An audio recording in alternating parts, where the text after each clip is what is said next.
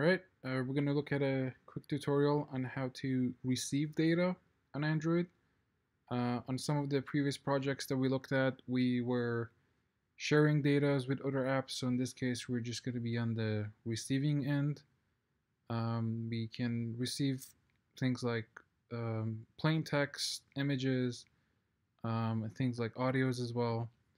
Um, so just kind of quickly look into how the project would look. Um, here's the application, receive data. You can see that there's nothing displaying. But um, if we start by, for example, sharing plain text, and I'm just going to do it by sharing something in Chrome. Uh, in this case, it's just going to be sharing the URL. I'm going to pass it to the app, and it's just going to display it right there. So this would be plain text. There is also implementation for sharing images. I have some here. And then there is a distinction between sharing a single image and multiple of them. Uh, so we're going to go over that as well. So we're sharing one single image. You can also share multiple one. Takes a little bit longer because some of the files are big, but in this case, um, there's the two images overlapping, but that's not what we're here for extreme design, which is here for the impl implementations. Then there is also for audio. So what we could do is try sharing this as well. And we'll play the audio for us. Um, and then multiple audios, if you select share that. Playing all the audios at the same time. And how do you guys stop it? There we go. Alright, so this is what we're going to do, right? Sharing text, sharing images, sharing audio. And I didn't have the video part, but it will be very similar. So hopefully this will be enough to actually um, get started. Um, this project will be available on GitHub. I will include a link in the description. So you don't actually have to just follow the video if you don't want to. You can clone it from there. Um, with that out of the way, let's get started. So to be able to receive data from other applications, uh, fairly simple. First thing we're going to look at is the manifest. Um, depending on where you're going to be placing these um, or which activity you want to receive the data. In this case, my application only has one activity and it is my launcher activity. Um, but I'm placing all the receiving actions in there. So you might, uh, in your case, want to split it or do something else. Um, but we're going to be putting these in intent filters. And we will have to do these individually for each one.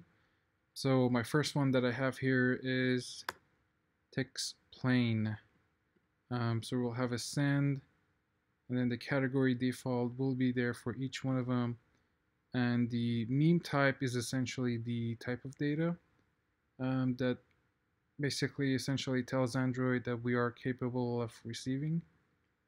Um, so that's that was the URL case that we did when we shared the URL with Chrome. And then we can do the same thing with images. Um, so we're saying that we can receive an Im image and then there's a star here which essentially just says all types of images. If you want to be more specific you could say PNG or JPEG something like that. But in this case that means that we'll be accepting all types of images. And then I have a second image down here but there's the difference that we talked about I mentioned a little bit ago is that there is a small difference if you're going to be accepting multiple images, we'll have to do that as a separate intent filter. In this case, the first one is image of all types, but it's only send. In this case, it's send multiple, but it's it could still be the same type. So if you're going to be accepting one or more than one, you're going to need both of these. And then we also did the audio. In this case, it's exactly the same, send, send multiple, and then audio. and obviously you could be more specific like mp3 so you're gonna need these in the manifest and there is no uh, requirements that it has to be in a certain activity. You could spread it around could um, put it wherever you'd like. But in this case it's just one page for this demo. Um, code wise the main part of it is that we're just going to be uh, parsing the data that's coming to the activity for us and it's going to be passed through the intent. Um, one thing that was mentioned to watch out for if you're using this activity to do other stuff, so for example, maybe your own application is passing data in, or maybe it's just being used as other stuff, you will need to differentiate between is someone sharing data to me? Are they just opening the application? Or is my own app um, passing data through activities? Uh, but in this case, we're checking that the intent does have an action. Um, and if it is a send, um, we're doing some more parsing. For example, if it's uh, text, we're going to be handling the text. If it's a media image, uh, we're going to be parsing that one and same thing for audio. Um, the send is just coming from the ones that we mentioned in manifest. Uh, it's these ones, the actions. Uh, some of them are send. And if you notice, there's a second part, action send multiple. So same thing that we did if we're going to be managing multiple images. It's right there. So they're going to be separate in manifest, but they're also going to be um, managed differently on the code as well. And they're kind of separated in their own functions, so you can individually look at this. Um, but we can look at one of them, such as the images that I've done.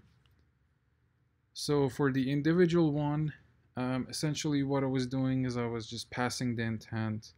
If it's an action send, and if it's of type image and the way we're checking it is by just checking the mime. And again if we go back these are the mime that we also declared in our manifest. So we know we're capable of parsing images and we know that we can parse any type of image. So we can come here and say just image backslash.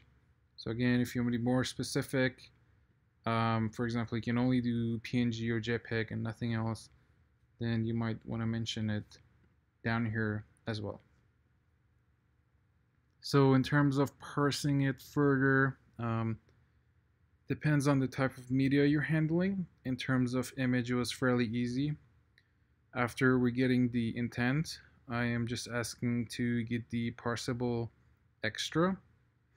And it is going to be of type stream.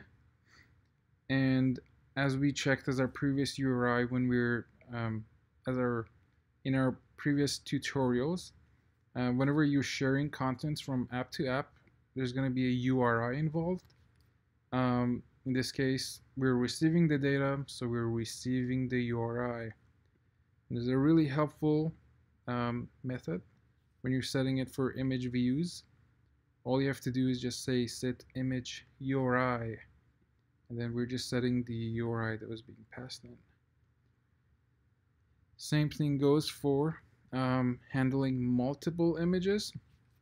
Um, since we're going to be, you know, handling multiple of them, so we're just going to have an array list of them, an array list of parcelables. This case, still going to be an extra stream and after we've checked null checked everything's in order um, we're gonna set our image we use the same method that we used previously set image URI but in this case since we're gonna have an array list of the URIs we're gonna be um, setting the first one through through the uh, just the get method in our array and the second one as well Obviously this isn't dynamic, so if the user selects three images and nothing's gonna happen anymore. But essentially this should tell you how to handle multiple images. in terms of the other ones, um, text is fairly simple. Um, instead of a stream, which kind of uh, hints that it's going to be more of a audio or a video or an image. Uh, we're just going to say extra text. So there's no URI involved. We'll just say our text view text is what that was being sent. So this was the uh, this was the case of sharing a URL. That's where it's going to be displayed. We're just setting the text that was passed to us. And we just went through the images. And the audios is exactly the same. I'm just using a media player to play the audios as we looked at. So there's nothing special about it. We're just doing the get parsable extra. In this case, we're just handling one audio. So we're just going to have one URI that's being passed to us. And instead of setting the image URI, I'm just telling the media player that our data source is this URI. It will prepare it, it will start it, and it will hear the audio. So it's shared to us successfully. And the same thing for an array list of um, audios being passed to us. Um, I am essentially just looping through them, um, which is why you heard multiple audios playing at the same time. And if you'd like to do videos as well, I did not include this. You will have to use the same technique.